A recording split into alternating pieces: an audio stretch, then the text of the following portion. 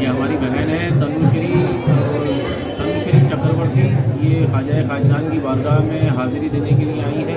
और हम दुआ करते हैं ख्वाजा खाजगान की बारगाह में कि उर्दू ख्वाजा खाजगान इनकी तमाम दिली तमन्नाओं को पूरा करें और इनकी झोली को खुशियों से भर दें और अपना करम इनके ऊपर, इनकी फैमिली के ऊपर बनाए रखें और ये खुश रहें, आबाद रहें, ख्वाजा सरकार के करम के साय में रहें।